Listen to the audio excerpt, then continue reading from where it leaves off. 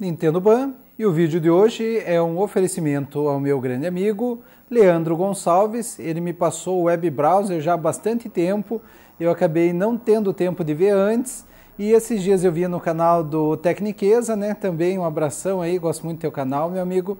E daí eu lembrei, falei, puxa, eu tenho que fazer esse vídeo também. Então eu aproveitei lá e assisti o vídeo do Tecniqueza, que ficou muito bom. Peguei o arquivo que o Leandro me mandou, tá? Então um abração a vocês dois e meus amigos. E agora vamos ver como não só instalar o web browser, mas como você utilizar ele no SXOS, que é mais fácil pelo modo stealth, e como você utilizá-lo num desbloqueio free, fazendo algumas configurações no seu servidor modificando o DNS. Então vamos agora para o computador. Na descrição desse vídeo você vai achar um link para webbrowser.nsp. O mesmo deverá ser baixado e copiado para sua área de trabalho. webbrowser.nsp, já na área de trabalho, você vai conectar o seu cartão microSD do seu Nintendo Switch de alguma forma com o seu computador. Vamos abrir aqui então o nosso cartão microSD e vamos arrastar o webbrowser.nsp para a raiz do cartão. Ele é extremamente pequeno, então vai ser uma coisa bem rápida. Agora vamos ligar o nosso Nintendo Switch no desbloqueio que você use para mostrar para vocês como vai funcionar esse maravilhoso Homebrew. Eu vou começar mostrando como que você tem que fazer para quem usa o XOS e depois eu mostro pra, para um desbloqueio free. Então, primeira coisa, vem aqui no seu álbum, vai em Options, em Options, veja se o modo Stealth está ligado, porque com ele você estará conectado num DNS, né, num servidor de DNS diferente, aonde o acesso a Nintendo estará totalmente bloqueado.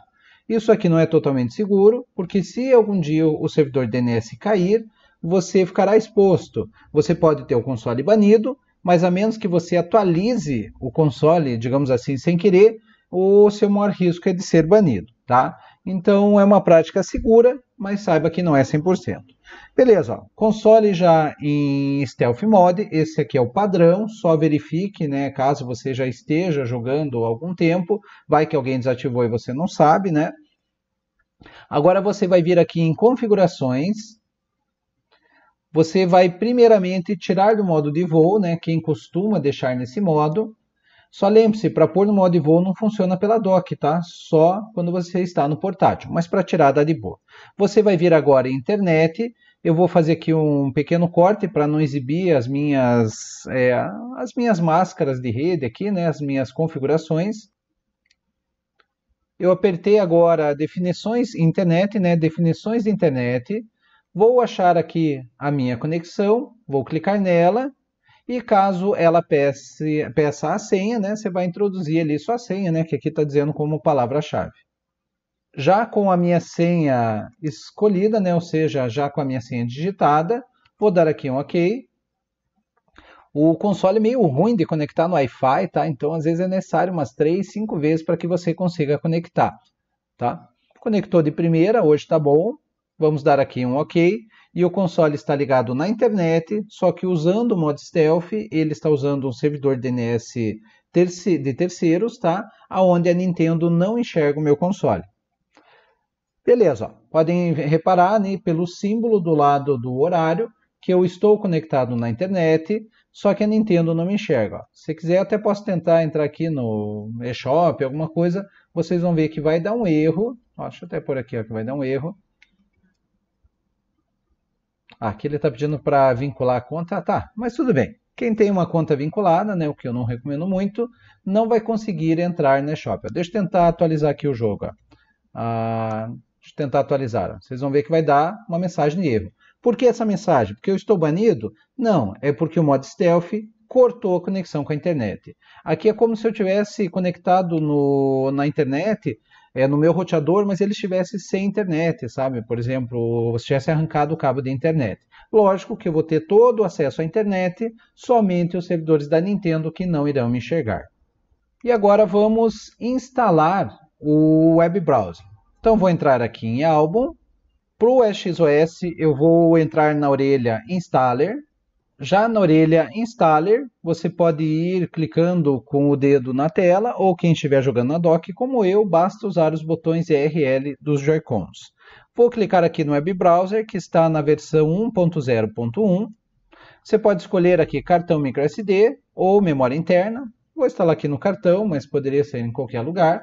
Vou apertar o A vai ser super rápido para instalar, porque é um aplicativo de 4 megas. Já poderia apertar o X e apagar o NSP, mas só devido à gravação do vídeo, não vou apagar agora. Vou apertar o botão Home e veja que o web browser já apareceu aqui na minha tela principal. Vou clicar nele. Veja que legal, ele não pede nem o utilizador, né? E agora você até pode, acredito que vincular depois a sua, a sua conta, tá? Vou ficar no básico. Então vou escrever aqui, busque aqui, escreve tu busqueda, deixa eu tomar cuidado para não falar besteira, né? Então, é, vamos procurar alguma coisa aqui, vamos procurar aquele site do nosso amigo, né, Tiago, onde, por incrível que pareça, ele consegue ter alguns consoles ainda desbloqueáveis, Tá cada vez mais difícil achar console desbloqueado, tá? É, eu vou, comprei mais um deles, vou revender aqui na minha cidade. Então, magazinelondrina.com.br.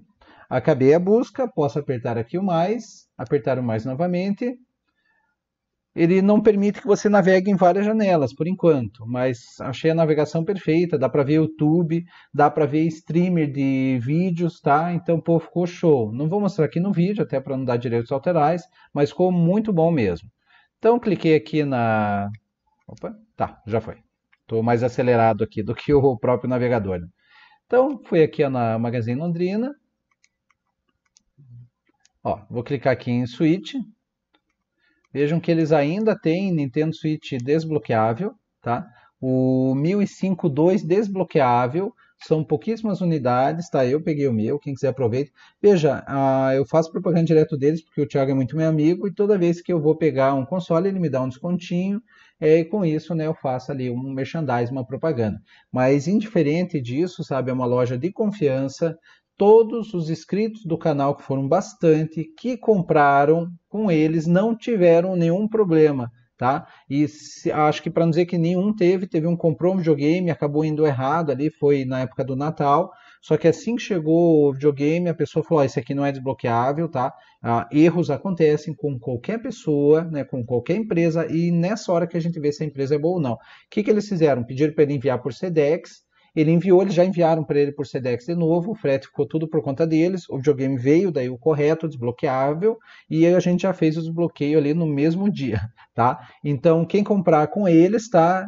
É, garanto para vocês, se você tiver algum problema que não é comum, eles vão resolver da melhor forma possível, que você vai gostar muito da loja, tá? E se você comprar com eles também, quiser desbloquear comigo, não atualize o videogame, não conecte ele na internet, que eu tenho um desbloqueio top, onde a gente consegue fazer tudo offline e o seu console nunca vai ver a internet, fica uma coisa maravilhosa. Beleza, ó. Então agora vamos mostrar como vai funcionar para um desbloqueio free tá? Então eu não vou ativar um desbloqueio free aqui, tá? Mas eu só vou mostrar as configurações de DNS que você tem que fazer. Vou fazer pelo SXOS mesmo. Bom, e agora vamos aprender como fazer no desbloqueio free. Não vou mudar para o free, mas vamos simular. Então eu reverti tudo que eu fiz. Eu vou começar tirando aqui o modo stealth, tá? Para fingir que é um desbloqueio free. Só um pouquinho. Eu não tenho mania de desativar isso aqui, não lembrava como é que era. Bom, então agora eu não tenho mais o modo stealth, ou seja, o SXOS está igualzinho, um Renix, um Lunar Sys, um Atmosphere, tá? Eu sei que saiu o Atmosphere 8.3, só que eu não tenho console na 6.2, eu tenho Emunand na 6.2, então assim que eu pegar um console na minha cidade para desbloquear, eu testo o 8.3, já tenho os arquivos, já tenho tudo certinho e trago para o canal, tá? Eu acho, espero fazer semana que vem. Então beleza, ó. Já não estou mais no modo stealth, isso aqui virou um desbloqueio free nessa parte de segurança. Agora, o que, que eu vou fazer? Primeira coisa, eu tenho que ter certeza que o meu console não está conectado na internet. Né? No, quando eu pus em modo de avião, eu não estava na internet. Caso eu esteja, eu aconselho vocês a desplugar o cabo ali do roteador ou até mesmo desligar o roteador, vão lá e eliminem as definições. Como eu tenho certeza que eu não estou na internet, né, no modo normal, então eu vou vir aqui em definições do console, modo de voo, Ó, sempre que puser em modo de voo, não esquece de pôr comunicação com os comandos Bluetooth em sim. Senão, quando você tirar teu Joy-Cons da telinha ali, do modo portátil, eles não vão funcionar, tá? Então, vou tirar do modo de voo. Beleza. Agora eu vou vir aqui em internet. É, se eu fizer cortes, é porque eu não quero mostrar meus dados, dá muito trabalho. Depois ficar mascarando aquilo, eu perco muito tempo. Tá, eu vim ali então em internet, definições de internet, e agora essa aqui é a minha conexão. Só que agora não é tão simples. Se eu conectar aqui Copel 79, que é o nome do meu roteador, eu vou ter que pôr, clicar nele, pôr a senha, e ele vai conectar com a Nintendo.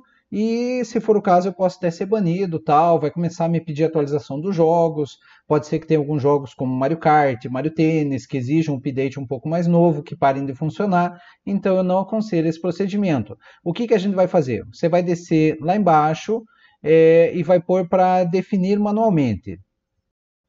Beleza. Para não aparecer o endereço aqui do meu computador, eu fiz um pequeno cortinho, mas eu vim em configuração manual. Então, repetindo, ó, você veio em, você desligou o modo de voo, foi internet, daí você pôs ali em configuração, né, para você definições do console, você olhou o nome do teu roteador, só que você desceu lá na última opção e pegou configuração manual. Nome da ligação, você pode pôr qualquer coisa que você queira, qualquer nome, tá? Então eu vou por aqui, sei lá, YouTube, web browser, a mesma configuração do YouTube, para quem já tem, vale para essa, tá? Então não precisa mudar. Então vou pôr lá, web browser, é legal que escreve errado, né? Então vou apertar o mais para confirmar, mais uma vez o mais, e esse foi o nome que eu escolhi. Poderia ser YouTube, é, conexão com a internet sem que a Nintendo me enxergue. Lógico, tem um limite de caracteres, né? Mas agora, ó, SSID, esse aqui você é obrigado a pôr o nome do teu roteador, senão ele não conecta. Que no meu caso é, tem que ser até maiúsculos com maiúsculos, tá? Então é Copel, que é o nome que a operadora de, de internet dá pra gente, né? Que é o Copel, que é o nome dela, e 79, que é o final do meu contrato. Então, Copel 79, beleza, é o mesmo nome do meu roteador. Se você não lembra o nome do teu roteador, é só olhar que ele vai aparecer naquela lista, né? Segurança tem que pôr, tá? Ah, põe a mesma que o seu roteador usa, então vou pôr aqui esse WPA2 PSK, tá? que é o que o meu roteador já usa. Se você tiver em dúvida, olha no teu celular que você vai ver o tipo de, de segurança que ele usa. Então, beleza, ó. Agora eu tenho que pôr a minha senha, então vamos fazer aqui um pequeno corte. Beleza, ó. Eu nunca esqueço uma vez, quando eu estava no primeiro ano da faculdade, né, de ciência da computação, eu fui na casa de um amigo, ele foi pôr a senha num programa, lá num site, ele falou pra gente, olhem pro lado. A gente olhou pro lado para ele pôr a senha, quando a gente olhou para frente, que ele já tinha posto, a senha dele aparecia na tela. Então foi, cara, é, digamos assim, sei lá, se eu falando parece sem graça, mas a pessoa fazer você olhar pro lado para digitar uma senha, quando você olha a senha tá na tela, assim, que ele não queria ver a mão dele digitando, foi muito cômico. Mas vamos lá então. Então dei aqui um OK, Agora falta definições de IP, não preciso mexer, tá? Isso aí quando você vai usar um Super LAMPlay, LAMPlay, daí você tem que mexer. Se você está usando o servidor do LAMPlay, Super LAMPlay, é que daí ele tem que estar tá o programa aberto. É. Então aqui você pode deixar em automático, tá? Você pode ter vários servidores funcionando, tá? É, vamos ir aqui em definições de DNS, aqui que está o pulo do gato, ou seja, aqui que está a mágica. Vamos clicar aqui, vamos apertar o B para apagar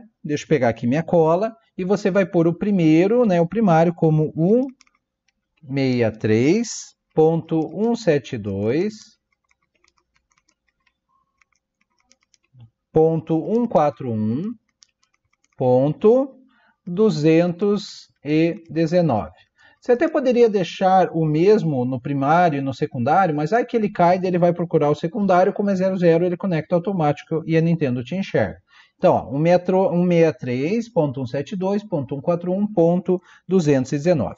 Vamos por o secundário. Então, como eu falei para você, existe um risco, só que o risco é que se os dois DNS caírem, tá?